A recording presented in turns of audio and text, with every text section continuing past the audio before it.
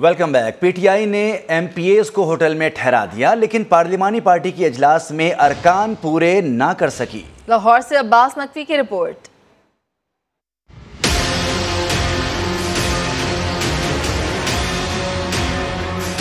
पहले तोलो फिर बोलो, हुकूमत को अरकान पूरे ना करने का ताना देने वाले अपने ही मेंबर्स लाने में नाकाम रहे। पीटीआई और काफ लीग की पार्लिमानी पार्टियों के मुश्तरका इजलास में बमुश्किल नब्बे अरकान असम्बली ही इकट्ठे हो सके। निजी होटल से दो बसों में सत्तर अरकान को पंजाब असम्बली लाया गया। पीटीआई रहनमा उमर सरफराज चीमा ने अरकान के कम होने का एतराफ कर लिया। अचानक जो इजलास बुलाएगा बिल्कुल वो कुछ लोग हैं जो इंशाल्लाह शाम तक भी पहुँच जाएँगे और कल इमरान खान साहब भी तशरीफ़ ला रहे हैं यहाँ पे और आप देखेंगे तादाद हमारी पूरी है वो मसला नहीं है। पंजाब की वजारत आला के लिए तहरीक इंसाफ और काफ लीग की बैठकें भी जारी हैं। शाह महमूद कुरैशी और स्पीकर असम्बली चौधरी परवेज इलाही की मुलाकात हुई। उमर सरफराज चीमा समेत पीटीआई के दीगर अहम रहनमा भी शरीक हुए। परवेज इलाही ने नंबर गेम के बारे में पीटीआई के आदत को एतमाद में लिया। अब्बास नकवी, समा, लाहौर। और मुस्लिम लीग काफ के रहनुमाओं के दरमियान होने वाली अभी आपको बताएँ कि लाहौर में बड़ी मुलाकातों के हवाले से, जहाँ पर शाह महमूद कुरैशी ने मुलाकात की और उनकी मुलाकात में काफ लीग के अहम अरकान मौजूद थे। आपको बताएँ कि रबते में हैं तमाम अरकान, काफ लीग के रहनुमाओं को 22 जुलाई तक किसी से मुलाकात नहीं करनी चाहिए। तफसलत जानते हैं मोहसिन बिलाल से। जी, मोहसिन बिलाल, क्या तफसलत हैं सिलसिले में आपके पास? बिल्कुल, आज शाह महमूद कुरैशी जो है, वो पंजाब असम्बली पहुँचे थे और काफली को तहरीक इंसाफ की पार्लिमानी कमेटी से उन्होंने खताब भी किया और स्पीकर पंजाब असम्बली चौधरी परवेज राही से मुलाकात भी की। उन्होंने कुछ अपने तहफात का इजहार किया, जो चौधरी शुजात हुसैन की हालिया मुलाकातें हो रही हैं और इस हवाले से जो शाह महमूद कुरैशी का ये कहना था कि काफ लीग को जो है, अपने पर अपने अतमाद का वोट है, वो बरकरार रखना चाहिए और अपने अरकान पर नज़र भी रखनी चाहिए और बाईस जुलाई तक किसी से मुलाकात भी नहीं करनी चाहिए और ये खदशा परवेज इलाही को और तरीके इंसाफ को भी। इसी वजह से अब उन्होंने हमत अमली भी तब्दील की है। पहले लाहौर के गुलबर्ग का इलाका है, यहाँ पर एक निजी होटल में अरकान को ठहराया गया था, लेकिन अब मार रोड पर वाक़ एक होटल में जो है, वो अरकान को मुंतकिल कर दिया गया है। ये वही खदशा था जिसका इजहार चौधरी परवेज राही से मुलाकात में शाह कुरैशी ने किया और उनका ये कहना था कि तमाम अरकान को मुलाकातों से रोकना चाहिए। यही अगर अरकान इसी तरह मिलते रहे और उनकी मुलाकातें जारी रही, खास तौर पर चौधरी शुजात हुसैन की तो इससे शकूक शुबहत में मजीद इजाफा होगा और जो एक दूसरे पर एतमाद किया हुआ है। उसका में भी जो है वो फुकदान पैदा होगा। जी। बहुत शुक्रिया, मोहसिन बिलाल तफसीत बता रहे थे। तहरीक इंसाफ के वाइस चेयरमैन शाह महमूद कुरैशी ने इल्ज़ाम लगाया है कि हुकूमत एम पी एस की बोलियाँ लगवा रही है। सवाल उठाया कि आई बी और दीगर इदारे क्यों मुतहरक हैं? बंदे गायब कराने का राना सनाउल्ला का बयान जमहूरियत की नफ़ी और सुप्रीम कोर्ट की वाज हिदायत की खिलाफ वर्जी है। लाहौर में पार्टी के पार्लिमानी इजलास के बाद गुफ्तु करते हुए शाह महमूद कुरैशी ने कहा कि हमारे नंबर्स पूरे हैं। परवेज इलाही वजारत आला पंजाब के मज़बूत उम्मीदवार हैं। हमारे पास इस वक्त एक सौ अट्ठासी मेम्बरान मौजूद हैं। वोट ऑफ़ कॉन्फिडेंस के लिए फिगर 186 का वो भी हम पूरा करते हैं। हम और हमारे हलीफ पंजाब में हुकूमत बनाने की पोजीशन में आ चुके हैं। अब इस मेजॉरिटी को तस्लीम न करते हुए सरकार और उनके कारिंदे मुख्तलिफ़ किस्म के बयान दे रहे हैं, जो जमहूरी अमल की नफी करता है, जो सुप्रीम कोर्ट की हिदायत और अहकाम की हुक्म है। राना सनाउल्ला साहब का बयान, अफसोसनाक बयान है कि पाँच लोग गायब हो जाएँगे। क्यों गायब हो जाएँगे? कौन गायब करेगा? और उन्हें गायब क्यों होना चाहिए? अगर आपने खुले दिल से शिकस्त तस्लीम कर ली है तो फिर बोलियाँ क्यों लगवा रहे हैं? जो इदारे हैं स्पेशल ब्रांच है और आईबी है, वो हरकत में क्यों है? और नंबर्स हमारे कम हैं तो हुकूमत परेशान क्यों है? टेन्योर वो पूरा करना चाहते हैं और इकोनॉमी टैंक कर रही है। जो रुपए की कदर गिरी है, इससे जो नया महँगाई का तूफ़ान बर्पा होगा, उसकी कीमत कौन देगा? उनका एजेंडा पाकिस्तानी नहीं है। उनका एजेंडा अपनी कुर्सी है, अपने मफादात है। जरदारी साहब के मशवरों पर चलते हुए नून की ये नौबत आई है। मजीद अजमा लें।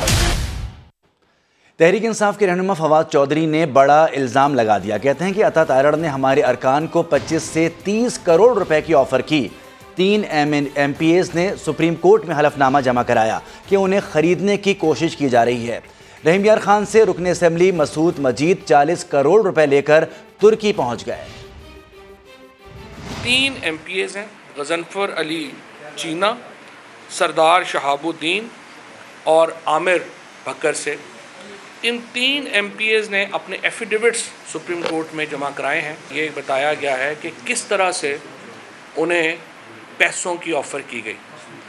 अता तारड़ जो है, उसने उनसे बात की और पहले उन्होंने कहा कि आप अगर हमारी मदद करें तो हम भी आपके बहुत काम आ सकते हैं। उन्होंने कहा, जी, हमें दस लोग चाहिए। तो उसने कहा नहीं हमारे पास चौदह लोग हैं। ये गुफ्तु हो रही है। और चौदह लोगों के लिए हमें चौदह अरब रुपया चाहिए। तो अता तारण ने उनको आगे से कहा कि, नहीं, चौदह अरब रुपया तो बहुत ज़्यादा है। हम आपको पच्चीस से तीस करोड़ रुपया जो है, वो फ़ी एम पी ए दे सकते हैं। क्योंकि हमें जरदारी साहब का इतना ही जो है, वो पैसे जो हैं, वो हमें हासिल। हमारे रहीम यार ख़ान से M P A Masood Majeed मुबैना तौर के ऊपर 40 करोड़ रुपया लेके वो माशाल्लाह तुर्की पहुँच गए।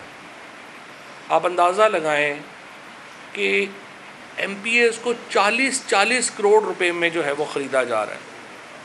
ये वो विशेष सर्कल है जो पाकिस्तान में आसफ जरदारी ने मास्टरमाइंड किया है। हमारा मुतालबा ये है कि फौरी तौर के ऊपर सुप्रीम कोर्ट जो इलेक्शन लॉज के मुताबिक आसफ जरदारी को, अता तारड़ को फौरी तौर के ऊपर गिरफ़्तार किया जाए राना सनाउल्ला को, इन तीन लोगों को आसफ जरदारी इनका सरगना है इस वक्त, क्योंकि पैसे फंड्स की प्रोविज़न जो है वो जरदारी की तरफ़ से आ रही है। वजी अजम के कोऑर्डिनेटर बिलाल अजहर ने फवाद चौधरी को मुफाद चौधरी करार दे दिया। कहते हैं कि फवाद चौधरी के कारनामे तो आम हैं, मुफादात के गिर्द ही उनका सियासी मुस्तबिल घूमता है। मजीद सुनते हैं उन्होंने क्या कहा। खान साहब, उनके किराए के तर्जुमान जब हमें लेक्चर देते हैं मीशत के बारे में तो दुख भी होता है और हैरानगी भी होती है क्योंकि ये बातें इस तरह करते हैं जैसे तीन महीने पहले तक इनकी नहीं किसी और पार्टी की हुकूमत थी। लेक्चर हमें देते हैं यहाँ पे मुफाद चौधरी साहब जैसे लोग। वकला बरदरी की महफिल में चले जाएँ तो फवाद चौधरी साहब की वकालत की शोबे में जो खदमात हैं, यह जो उनकी शहरत है, वो आम है। कि किस तरह उनके जब चचा chief justice Lahore high court थे तो उन्होंने वकालतनामे बेचे। तो उस टाइम पे उनको इंसाफ बेचने का मौका मिला तो उन्होंने काला कोट पहन के इंसाफ बेचा। ये साहब जो तब्दीली के दावेदार बनते थे जिनको मैं पहले ही कह चुका हूँ, और एक वो नीम चलती जी अक्सर बड़ी मशहूर इनके हवाले से फोनों पे, कि वो आलू जो हर सब्ज़ी में पक जाता है। डॉलर को कैसे नीचे लाएँ? वज़ीर अजम शहबाज शरीफ ने मुल्क की माशी सूरत हाल पर हंगामी इजलास तलब कर दिया। वजी अजम शहबाज शरीफ की जेर सदारत इजलास में हुकूमत की माशी टीम और मीशत से मुतक आला हुकाम शरीक होंगे। मुल्क की माशी सूरत हाल और रुपये की कदर के हवाले से हक़ पर ब्रीफिंग दी जाएगी। इजलास के शुरा डॉलर की कीमत में हालिया इजाफे की वजूहत और उसके सद्देबाब के लिए इकदाम पर भी गौर करेंगे।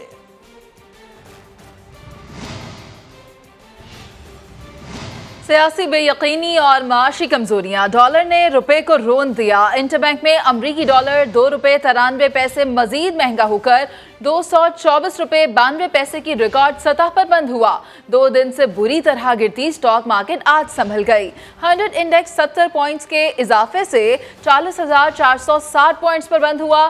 डॉलर का बैंक रेट दो सौ चौबीस रुपए बानवे पैसे है, मगर ये इम्पोर्टर्स को दस्तियाब नहीं है। फॉरेक्स डीलर्स के मुताबिक तेल मंगवाने के लिए ऑयल रिफाइनरीज ने डॉलर दो रुपए में भी बुक कराया। इंपोर्टर्स हर सूरत डॉलर्स खरीदना और एक्सपोर्ट करना डॉलर को रोक कर बैठे हैं। उधर इंपोर्टर्स के मुताबिक बैंक्स ने एल सीज दो रुपए फ़ी डॉलर पर भी नहीं खोली। इंपोर्टर्स को हर बैंक डॉलर का अपनी मर्ज़ी का रेट दे रहा है। बैंक्स इंपोर्टर्स को दो से दो सौ का डॉलर रेट दे रहे हैं, जबकि दूसरी जानब सोने की कीमत में बारह सौ रुपये की कमी के बाद फ़ी तोला सोना एक लाख चवालीस हज़ार रुपये का हो गया है।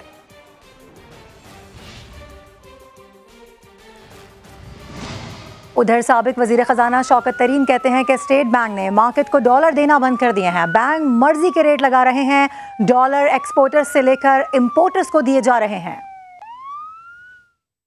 स्टेट बैंक ऑफ़ पाकिस्तान ने मार्केट को डॉलर देने बंद कर तो बैंक्स जो हैं, वो अपनी मर्ज़ी से रेट लगा रहे हैं और एक्सपोर्टर से डॉलर ले रहे हैं और इम्पोर्टर को दे रहे हैं। स्टेट बैंक ने, इंटर बैंक में ये टोटल जो है, कंट्रोल जो है, वो बिल्कुल लूज कर दिया है। ये उस वक्त हो रहा है, जबकि पिछले हफ़्ते हुकूमत ने ये अनाउंस किया कि उनका आईएमएफ के साथ एग्रीमेंट हो गया टेक्निकल एग्रीमेंट तो एक ही चीज़ समझ आ रही है, और वो समझ आ रही है कि पॉलिटिकल अनसर्टेनिटी सबको आप बेवकूफ़ बना सकते हैं। मार्केट को बेवकूफ़ नहीं बना सकते। स्टेट बैंक ने ये भी कहा कि हमारा जो रियल इफ़ेक्टिव एक्सचेंज है, वो तीन परसेंट से सिर्फ़ डिप्रिशिएट हुआ है। अगर तीन परसेंट से हुआ है तो इसका मतलब है कि एक सौ बयासी जो था, हमारा रेट मार्च वगैरह में तो वो एक सौ पचासी होने चाहिए, एक सौ छियासी होने चाहिए।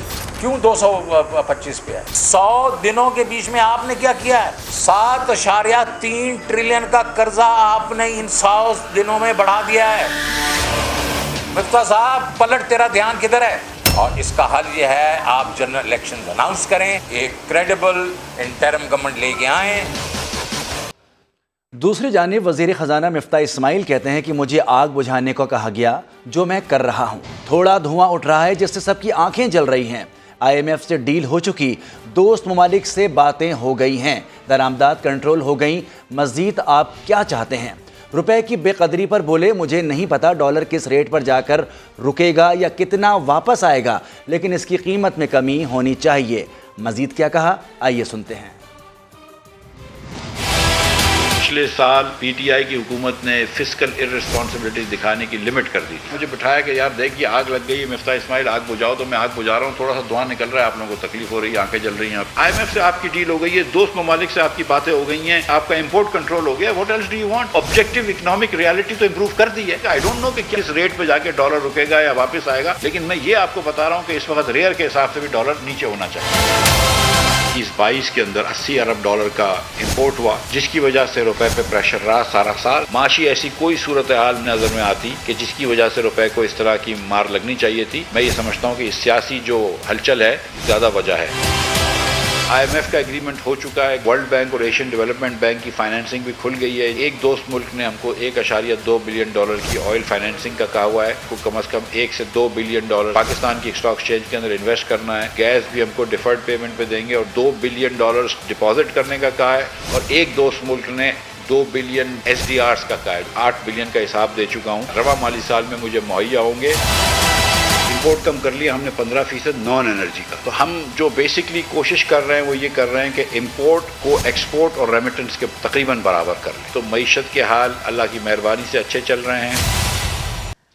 और अभी आपको बताएँ कि परवेज इलाही को वजी अला पंजाब बनाने के मामले पर पूरी काफ लीग और तहरीक इंसाफ एक पेज पर आ गई। चौधरी शुजात हुसैन ने वाजे कर दिया कि जिन्हें मैंडेट मिला हुकूमत कराना भी उन्हीं का हक है। नंबर को फरिश्ते उन्होंने इतनी पूरे करने। जिमनी इलेक्शन में पंद्रह नशस्तें क्या जीते? तहरीक इंसाफ ने वज़ीर अला पंजाब के इंतखाब में भी अपनी फतह के सपने सजा लिए। सबक वज़ीर कानून, राजा बिशारत ने दावा किया कि चौधरी शुजात ने आसिफ जरदारी को हिमायत की यकीन दहानी नहीं कराई। परवेज इलाही, वजारत आला के मुतफिक उम्मीदवार है। मेरे ख्याल में नंबर को फरिश्ते उन्होंने इतनी पूरे करने। कल उनकी पार्लिमानी पार्टी की मीटिंग हुई है, जिसमें 140 लोग सारे। तो नंबर कैसे उनके पूरे हो गए? की मुलाकात हुई है है आपको बिल्कुल हमें कोई खतरा नहीं है। कोई तहफात नहीं है और इन ताला आप देखेंगे कि जो हमारी इस वक्त पार्टी की जो हमारे इतिहाद की स्ट्रेंथ है इन ताला उससे बढ़कर सदर मुस्लिम लीग काफ चौधरी शुजात हुसैन का पॉलिसी बयान भी आ गया। बोले, परवेज इलाही ही वजारत आला के लिए पार्टी के उम्मीदवार हैं। जिनको मैंडेट मिला, हुकूमत करना उनका हक है। किसी किस्म का लेटर जारी करने का सवाल ही पैदा नहीं होता। किसी को सफ़ाई पेश करने की ज़रूरत नहीं। गरीब आदमी के मसाइल की तरफ़ तवज्जो दी जाएगी। जमीरों के सौदे हो रहे हैं। अरकान को 50 करोड़ रुपए तक की ऑफ़र की जा रही है। पीटीआई रहनुमा यासमीन राशिद ने बड़ा दावा कर दिया। वाज अंदाज में बता दिया कि इमरान इत्तेहाद को कोई घोड़ा नहीं मिलेगा। उन्होंने खरीदारी का जिम्मा इलेक्शन कमीशन को करार दिया और कहा कि मुनहरफ अरकान को ताहयात ना अहल करार दिया जाता तो किसी की मंडी लगाने की हिम्मत ना होती। आइए देखते हैं। 25 करोड़ से लेके 50 करोड़ रुपया ऑफ़र किया जा रहा है। जरदारी यहाँ बैठ के फिर वही मंडी लगा के बैठ गया है। जो लूटे हुए पैसे हैं उनके साथ अब तुम खरीदारी कर रहे हो लोगों की फिर से। कोई हया शर्म करो। महँगाई बड़ी हो गई। जहाँ पहले पाँच से दस करोड़ रेट था अब पच्चीस से पचास करोड़ कर दिया। इंशाल्लाह घोड़े मिलेंगे नहीं उनको। मिनिस्टर, उसने बयान दिया कि हम पाँच से छह बंदे उठा लेंगे। देखते हैं तुम चीफ मिनिस्टर का इलेक्शन कैसे लड़ोगे। तुम निकलोगे ना तो हम तुमको घसीटेंगे सड़कों के ऊपर। इलेक्शन कमीशन जो मंडियाँ लगा रहे हैं, इसके लिए भी वही जिम्मेवार है। इलेक्शन कमीशन नोटिस ले इस बात का, जिनको डी सीट किया था। इलेक्शन कमीशन इनको ताहयात डिस्कालीफाई कर देता ना तो कभी किसी ने ज़रूरत नहीं करनी थी दोबारा खरीदारी करने की। राना सनाउल्ला के खिलाफ तोहन अदालत केस दरखास्त गुजार चौधरी परवेज इलाही के वकील ने वफाकी वज़ीर दाखिला के बयान का ट्रांसक्रिप्ट जमा करा दिया। तहरीक इंसाफ की तरफ़ से बाबर आवान पेश हुए तो अदालत ने सख्त सवाल उठा दिए। इस्लामाबाद से शहजाद अली की रिपोर्ट। सुप्रीम कोर्ट में नून लीगी वज़ीर के खिलाफ केस काफ लीगी रहनुमा का। पेश हो गए पीटीआई के वकील बाबर अवान। विफाकी वज़ीर दाखिला राना सनाउल्ला के खिलाफ स्पीकर पंजाब असम्बली परवेज अलाही की तोहिन अदालत दरखास्त की समात में जस्टिस इजाजुल एहसन ने पूछा, बाबर अवान साहब, आप किसके वकील हैं? काज लिस्ट में तो आपका नाम ही नहीं। जवाब मिला, मरकजी केस में सिप्तन खान का वकील था। इसी केस के हुक्म की तोहन आरोप पेश हुआ हूँ। जस्टिस इजाजुल एहसन ने सवाल उठाया कि तोहिन अदालत कहाँ हुई और किस चीज़ पर हुई। जिमनी इलेक्शन तो हो गया, अब आपका क्या मुद्दा है? परवेज इलाही के वकील ने कहा, राना सनाउल्ला ने प्रेस को बयान में सूबाई असम्बली के मेम्बरान के गायब होने की धमकी दी। जस्टिस मुनीब अख्तर ने सवाल किया, कौन से अल्फाज तोहिन अदालत के जुमरे में आते हैं? दरखास्त के साथ बयान भी लगा कर लाए। जस्टिस इजाजुल एहसन ने कहा, प्रेस कॉन्फ्रेंस या टॉक शो में गुफ्तगू है तो इसका ट्रांसक्रिप्ट तो जमा करवाएँ। शवाहिद का जायजा लिए बगैर हम ऐसे कैसे फैसला कर सकते हैं? ट्रांसक्रिप्ट मसूल होने पर दोबारा समात होगी। अदालत के हुक्म पर परवेज लाही के वकील फैसल चौधरी ने राना सनाउल्ला के बयान का ट्रांसक्रिप्ट जमा करा दिया। केस की मजीद समात जुमरात को होगी। कैमरामैन उस्मान चीमा के साथ Shehzad Ali, Samaa, Islamabad. Public accounts committee में डीजी नैब लाहौर शहजाद सलीम ने अपनी सफ़ाई पेश करने के बजाय तैयबा गुल पर संगीन इल्ज़ाम लगा दिए। पीएससी ने सबक चेयरमैन जावेद इकबाल को 11 अगस्त को तलब कर लिया। इस्लामाबाद से वहाब कामरान की रिपोर्ट।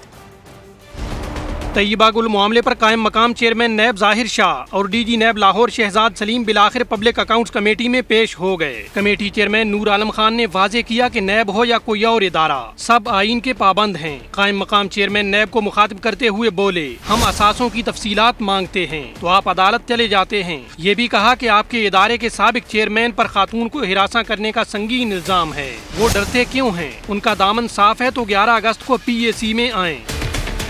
डीजी नैब लाहौर शहजाद सलीम ने मुतासरा खातून तय्यबा गुल पर कमेटी के अंदर और बाहर संगीन इल्ज़ाम धर दिए। दो हफ़्ते के लिए मीडिया ने जिस तरीके से उसको मादरे वतन बनाया हुआ था तीस चालीस जो है उसके ऊपर एफ़ आई आर दर्ज है। फ्रॉड धोखा दो नंबरी चेक बाउंस बैग वो लोगों से पैसे इकट्ठी कर पब्लिक अकाउंट्स कमेटी ने मोहम्मद डैम कॉन्ट्रैक्ट में बेजादगियों पर सेक्रेटरी आबी वसाइल से एक माह में फैक्ट फाइंडिंग रिपोर्ट तलब कर ली। जबकि सुप्रीम कोर्ट डैम फंड की तहकीकात का टास्क ऑडिटर जनरल को दे दिया। कमेटी चेयरमैन ने डैम फंड मामले में सबक चीफ जस्टिस साकिब निसार को तलब करने का इंदिया भी दे दिया। उधर सबक खातून अव्वल की दोस्त फरा खान, उनके शोहर एहसन जमील, गुज्जर और वालदा बुशरा खान एक मरतबा फिर नैब लाहौर में पेश न हो सके। उन्होंने वकील के ज़रिए जवाब जमा कराया, जिसको नैब ने वसूल करने से माजरत कर ली। इसी पर आपको दिखाते हैं अरशद अली की रिपोर्ट। फरा खान और दीगर ने वकील अजहर सदीक के ज़रिए जवाब जमा कराया। जवाब में कहा गया कि शॉर्ट नोटिस पर पेश नहीं हो सकते। सियासी बुनियादों पर नोटिस जारी किए गए। फरा खान के वकील ने मौकफ इख्तियार किया कि नैब के नोटिस में फराह खान समेत दीगर अफराद के खिलाफ इंक्वायरी की तफसीलात दर्ज नहीं। रिकॉर्ड मिलने के बाद फराह खान समेत दीगर अफराद पेश होंगे। गौसिया बिल्डर्स प्राइवेट कंपनी है। इसमें कोई गैर कानूनी काम नहीं हुआ। नैब प्राइवेट अफराद के खिलाफ इंक्वायरी नहीं कर सकता। नैब ने फराह खान की जानब से तहरीरी जवाब मौसू करने से इनकार कर दिया। इन्वेस्टिगेशन ऑफिसर फलक शेर और इमरान चौधरी ने जवाब वसूल करने से माजरत की। नैब ने फराह खान को इंक्वायरी में मुताद बार तलब किया, लेकिन वो पेश नहीं हुई। कैमरामैन आसिफ शकील के साथ अरशद अली समा, लाहौर। काफ लीग के कुछ अरकान हुकूमती इतिहास से रबते में हैं। बाईस जुलाई तक मुलाकातों से रोका जाए। शाह महमूद कुरैशी की चौधरी परवेज इलाही से मुलाकात की अंदरूनी कहानी सामने आ गई। परवेज इलाई ने कहा, चौधरी शुजात को मुलाकात से तो नहीं रोका जा सकता।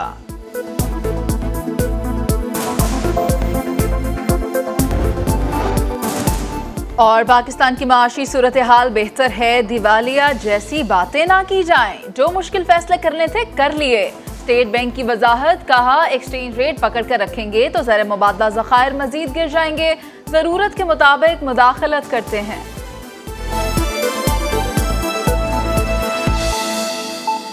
हल्का पीपी सात कहूटा से तहरीक इंसाफ के उम्मीदवार वोटों की तस्दीक से मुतलक अब तक होने वाली कार्रवाई से मुतमिन हैं। शब्बीर अवान का क्या कहना था आपको दिखाते हैं। जो वोट थे उसमें उन्होंने थम इम्प्रेशन लगाया हुआ तो वो अभी हमने नोट किए हुए हैं और सुप्रीम कोर्ट का ऑर्डर है कि you have to see the intention of the voter may be it with this time may be with them impression और विद सम इंडिकेशन और उन्होंने बिल्कुल सबको चांस दिए और हमारे जो लॉयर थे they were sitting in front and he was showing ballot paper to everyone और जो जिस तरह भी उसका एक्चुअल पोजीशन थी, वो एक्सेप्टेड हुई है और I am I am satisfied Karachi में 24 जुलाई को होने वाले बल्दियाती इलेक्शन में यूसी चेयरमैन और काउंसलर्स का इंतखब किया जाएगा। शहर के साथ अजला के 25 टाउन्स और दो सौ छियालीस यूसीज की तफसील बता रहे हैं। खुर्शीद आलम अपनी इस रिपोर्ट में। सिंध में बल्दियाती इंतबात के दूसरे मरहले में कराची के सात अजला से अवामी नुमाइंदे मुंतखब किए जाएँगे। इनमें ज़िला केमाड़ी, ज़िला जनूबी, ज़िला शर्की, ज़िला गरबी, ज़िला वस्ती, ज़िला कोरंगी और ज़िला मलिर शामिल हैं। कराची के इन सात अजला में पच्चीस टाउन बनाए गए हैं, जिनमें मजमू तौर पर दो सौ छियालीस यूसीज शामिल हैं। कराची की दो सौ छियालीस यूसीज के इंतखब में छः यूसीज पर उम्मीदवार बिला मुकाबला कामयाब हो चुके हैं। अब मुकाबला 240 यूसीज में होगा। किसी भी जमात को अपना मेयर मंतखब करने के लिए सादा अक्सरियत, यानी 124 यूसीज में कामयाबी हासिल करना ज़रूरी है। वोटर्स के एतबार से कराची का सबसे बड़ा ज़िला वस्ती है, जहाँ वोटर्स की तादाद 20 लाख छिहत्तर हज़ार से जायद है। ज़िला वस्ती को पाँच टाउन और 45 यूसीज में तकसीम किया गया है। इसमें गुलबर्ग टाउन में आठ यूसीज हैं, जबकि लियाबाद टाउन में सात, नाजमाबाद टाउन में सात, न्यू कराची टाउन में तेरह और नॉर्थ नाजाबाद टाउन में दस यूसीज हैं। वोटर्स के लिहाज से दूसरा बड़ा जिला शर्की है, जिसके चौदह लाख चौवन हज़ार से जायद वोटर्स के लिए जिला शर्की को पाँच टाउन और 43 यूसीज में तकसीम किया गया है। इनमें से Sohrab Goth town Safoora Goth town, Gulshan Iqbal town और चनेसर टाउन में आठ आठ यूसीज हैं, जबकि जिन्हा टाउन में ग्यारह यूसीज बनाई गई हैं। जिला कोरंगी में चौदह लाख पंद्रह हज़ार से जायद वोटर्स हैं जो चार टाउन और सैंतीस यूसीज में तकसीम है। कोरंगी टाउन में ग्यारह यूसीज हैं इसके अलावा लांडी टाउन में 10, मॉडल कॉलोनी टाउन में 8 और शाफेसल टाउन में 8 यूसीज हैं। जिला मलिर को तीन टाउन और 30 यूसीज में तकसीम किया गया है। इसमें से गडाब टाउन में 9, मलिर टाउन में 10 और इब्राहिम हैदरी टाउन में 11 यूसीज हैं। जबकि मलिर में वोटर्स की तादाद सात लाख तैतालीस हज़ार से जायद है। जिला गरबी तीन टाउन और तैंतीस यूसीज में तकसीम किया गया है। इनमें मंगोपी टाउन में सोलह मोमिनाबाद टाउन में नौ और औरंगी टाउन में आठ यूसीज हैं। जिला गरबी में वोटर्स की तादाद नौ लाख नौ हज़ार से जायद है। जिला जनूबी में वोटर्स नौ लाख पचानवे हज़ार से जायद हैं। इस ज़िले को दो टाउन्स और 26 यूसीज में तकसीम किया गया है, जिसमें लियारी टाउन में 13 यूसीज और सदर टाउन में भी 13 यूसीज हैं। केमाड़ी के ज़िले में वोटर्स की तादाद आठ लाख चौवालीस हज़ार से जायद है। ज़िला केमाड़ी तीन टाउन और बत्तीस यूसीज में तकसीम है। बलिया टाउन में तेरह, माड़ीपुर टाउन में ग्यारह और मोरीरो मीर बहर टाउन में आठ यूसीज हैं। कराची का मेयर तीन सौ सड़सठ मेम्बरान के ज़रिए ही मुंतखब होगा। Khurshid Alam, Samaa, Karachi. M Q M तंजीम बहाली कमेटी के सरबरा डॉक्टर फारूक सत्तार ने P S P chairman Mustafa Kamal से मुलाकात की। फारूक सत्तार कहते हैं कि हम एक पेज पर हैं, हमें सबको साथ लेकर चलना है, सबको मिलकर ओनरशिप लेना चाहिए। मुख्तलिफ़ जो मसाइल हैं, जो हमारे सामने चैलेंज है, हम एक पेज पर हैं। कराची ख़ास तौर पर एक कसीर लसानी शहर है। कसीर शहर है। हमें सबको साथ लेके चलना है। पीएसपी का एक नैरेटिव है। M Q M O R C मेरा एक नैरेटिव है। एम के एम पाकिस्तान का एक नैरेटिव है। शायद एम के एम हकीकी का एक नैरेटिव है। लेकिन मैं ये महसूस करता हूँ, हम शायद कि अब हमें अपनी जिम्मेदारियों का एहसास करना है। सिंध के सूबाई वज़ीर तैमूर तालपुर का कहना है कि हलीम आदिल शेख को पीपल्स पार्टी से डरने की कोई ज़रूरत नहीं है। वो उन लोगों से डरें जिनकी ज़मीनों पर उन्होंने कब्जे किए। किसी कब्जागिर को सिक्योरिटी नहीं मिलेगी। आदिल शेख आपको डर, जरदारी साहब का नहीं होना चाहिए, ना ही सिंध गवर्नमेंट का होना चाहिए। अगर आपको डर और खौफ होना चाहिए तो वो होना चाहिए उन माओ बहनों से जिनकी जमीनों पर तुमने नाजायज कब्जे किए हैं। अगर तुम्हें डर है तो डरो अल्लाह की जात से। अगर तुम्हें डर है तो डरो मुन्नी बेगम से और उसके लवाकिन से, जिनकी ज़मीन पर तुमने कब्जे किए हैं। जहाँ तक बात है पुलिस की तो मैं समझता हूँ तुम जैसे शख्स को क्या तुम्हारा करेक्टर है और क्या तुम्हारे बारे में बात करूँ। दुनिया तुमको अच्छी तरह से जानती है, तुम्हारे वालिद को भी जानती है, वो क्या करता था, तुम्हें भी जानती है क्या करते हो और तुम्हारा फ्यूचर भी हम जानते हैं क्या होगा। तो हमसे डरने की कोई ज़रूरत नहीं, तुमको पुलिस सिक्योरिटी की कोई ज़रूरत नहीं, किसी भी लोफर, गैंगस्टर, तुम्हारे जैसे लैंड ड्राइवर को पुलिस की सिक्योरिटी बिल्कुल भी नहीं मिलनी चाहिए। लाहौर में निश्तर कॉलोनी कमाहा रोड पर तीन बच्चे तालाब में डूबकर जहाँ बहक हो गए। जहाँ बहक होने वालों में 11 साल जफ़र खान, उसकी छः साल बहन आयमा और चार साल कज़न गुंचा गुल शामिल हैं। लाहौर में निश्तर कॉलोनी कमाहा रोड पर तीन बच्चे तालाब में डूब कर जहाँ बहक हो गए। जहाँ बहक होने वालों में 11 साल जफ़र खान, उसकी छः साल बहन आयमा और चार साल कज़न गुंचा गुल शामिल हैं। यहाँ आपको बताएँ कि मुल्क में बिजली का शॉर्टफॉल 7000 मेगावाट से तजावुज कर गया है। पावर डिवीज़न के मुताबिक मुल्क में बिजली की मजमुई पैदावार 21,570 और तलब 28,700 मेगावाट है। शॉर्टफॉल के बायस मुख्तलिफ़ इलाकों में 12 से 16 घंटे की लोड शेडिंग की जा रही है।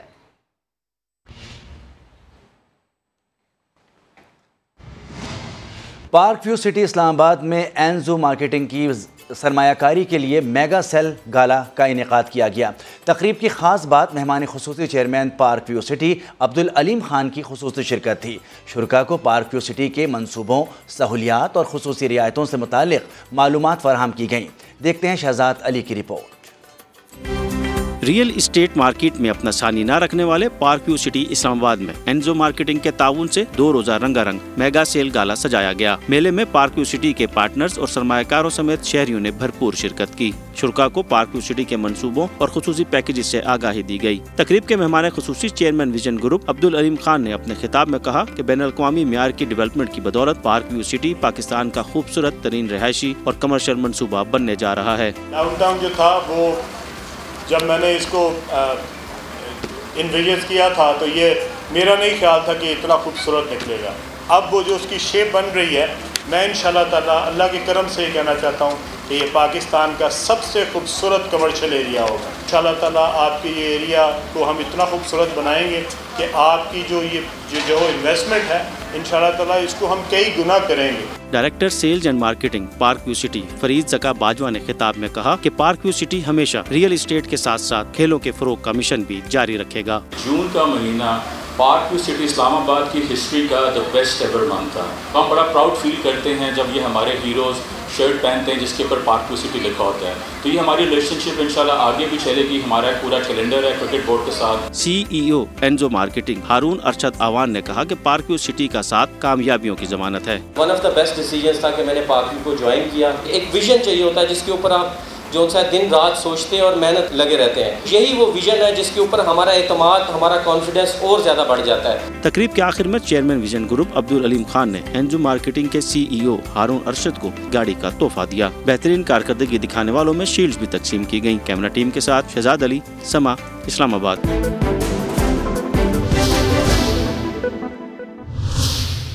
क्या वजह है कि 188 में से सिर्फ़ सौ अरकान ने उसमें शिरकत की। अगर इलेक्शन से दो दिन पहले आपके हालात ये हैं कि आप एक सौ अट्ठासी की अपनी तादाद पूरी नहीं कर सके तो फिर इलेक्शन वाले दिन आप क्या करेंगे? यही वजह है कि वो एक इब्नुल वक्त आदमी है, जिसका नाम फवाद चौधरी है। वो चीखें मार रहा है। अता तारड़ को गिरफ़्तार करो, अता तारड़ को गिरफ़्तार करो। ये नहीं पता किसको कह रहा है कि गिरफ़्तार करो। मगर उसकी चीखों पुकार सुनाई दे रही है। बैठा हूँ, लाहौर में मौजूद हूँ और इन इधर ही रहूँगा। तो ये गिरफ्तारी के ये जो आवाज़ें आप लगा रहे हैं, ये कहीं और जाके लगाएँ। क्योंकि आपका तो कोई पता नहीं, आपने अगला इलेक्शन किस टिकट पे लड़ना है। पहले ही माशाल्लाह हर लीडर को अपना बाप कहने वाला ये शख्स पाँच सियासी जमातें बदल चुका है। ये कभी आपको नज़र आएगा परवेज़ मुशरफ साहब के साथ, कभी नज़र आएगा यूसफ़ा गिलानी साहब के साथ, कभी नज़र आएगा परवेज़ लाई साहब के साथ, कभी मॉडल टाउन में ये पी एम एल एन वालों से मीटिंग करेगा जो इन्होंने 2018 के इलेक्शन से पहले की और मिन्नत समाजत की कि मुझे पार्टी में ले लें। और फिर इमरान खान साहब को ज्वाइन किया। जो लफ्स है यूथिया ये हमने नहीं बनाया। जो गलीज गालियाँ ट्विटर पे और सोशल मीडिया पे फवाद चौधरी साहब देते थे पीटीआई वालों को, ये उन्हीं की हिम्मत है कि उसी में उसी पार्टी में बैठकर आज हमें ललकारते हैं। तो फवाद चौधरी साहब, रोना बंद कर दें। ये वो दौर नहीं है कि जब आप अपने चचा के नाम की रिश्वत उठाएँगे और एक ही केस में दोनों पार्टियों से पैसे उठा के जब किसी के हक में फैसला हो जाएगा तो उसके पैसे रख लेंगे। और जो पार्टी मुकदमा हारेगी, उसके पैसे वापस कर देंगे। ये वो दौर गुजर गया। आपकी परवरिश, आपका ब्रॉटअप आपकी एक एक पाई जो आपने कमाई है, उसमें हलाल का एक ज़र्रा नहीं है। ये जो फ़र्स्ट लॉ कंपनी आपने शुरू की थी, ये फ़र्स्ट लॉ कंपनी कैसे बनी? ये फ़र्स्ट लॉ कंपनी में कौन केसेस लेकर आता था? कैसे उन केसेस का फैसला होता था? तो डब्बू जी कभी एक ही अबू ये डब्बू को मैं कहूँगा, डब्बू कभी एक ही अबू हर रोज तब्दील करना, लीडर को और उसको वालिद कहना, ये मुनासिब नहीं है। और आप इल्ज़ाम लगा रहे हैं कि हमने आपके एक एमपीए को 40 करोड़ रुपये ऑफ़र किया। मैं अल्लाह ताला को हाजिर नाजिर जान के कहता हूँ कि अगर मैंने आपके इस एमपीए को, चौधरी मसूद जिनका नाम है 40 करोड़ रुपया ऑफ़र किया हो तो अल्लाह ताला मुझ पर अपना अजाब और कहर नाजिल फरमाए। और अगर आप झूठे हैं और मुझ पर झूठा इल्ज़ाम लगा रहे हैं तो यह भी दुआ करता हूँ कि अल्लाह ताला आप पर अपना कहर और अजाब नाजिल फरमाए। कैस गजब खुदा का कि लियाकतपुर से एमपीए चौधरी मसूद के हवाले से कहा गया कि उनको पैसे दिए गए हैं। यह चौधरी मसूद का इस्तीफा है। ये चौधरी मसूद जो पीटीआई के लियाकतपुर से एमपीए हैं, ये उनका इस्तीफा है और ये आज का नहीं है। ये मैं चाहता तो पहले मंजर आम पर ले आता। ये तीन अप्रैल 2022 का इस्तीफा है। तीन अप्रैल 2022 का इस्तीफा है, जो उन्होंने आपकी पार्टी से नाला होकर आपकी पार्टी में जिसका नाम तरीके इंसाफ है, उन्होंने लिखा है, कोई इंसाफ नहीं है इसमें। वो बाइज्जत और बावकार शख्स हैं, वो अपना इस्तीफा जमा करा चुके हैं, और इस्तीफे के बाद आप अगर रिश्वत का इल्ज़ाम लगा रहे हैं तो मैं कुरान पर हल्फ देने को तैयार हूँ कि चौधरी मसूद को कोई पैसे नहीं दिए गए। और फवाद चौधरी साहब, आप अगर ये कुरान पे हल्फ दे दें कि हमने पैसे दिए हैं चौधरी मसूद को तो मैं अपनी बात से पीछे हट के मैं हमेशा के लिए सियासत छोड़ दूँगा। देते हैं हल्फ के बातें जितनी मर्ज़ी करा लो। और अमल यह है कि अपने एमपीए की खबर नहीं है, ये कैसी पार्लिमानी पार्टी है? आपको इल्म नहीं था कि आपका एमपीए अप्रैल में इस्तीफा दे गया है? ये देखिए ना, अब ये मैं अभी मीडिया से भी शेयर करूँगा। तो बात यह है, आपको वोट चाहिए एक जो आपके पास मौजूद हैं। अब उसमें से ये कम हो गया तो एक सौ सतासी पीछे रहे लाहौर में वजी दाखिल पंजाब अतातार और प्रेस कॉन्फ्रेंस कर रहे हैं। उन्होंने कहा कि आज के इजलास में अपोजिशन के सिर्फ़ सौ अरकान ने शिरकत की। और अभी लेंगे एक ब्रेक जिसके बाद हाजिर होंगे हेडलाइंस के साथ। देखते रहिए समा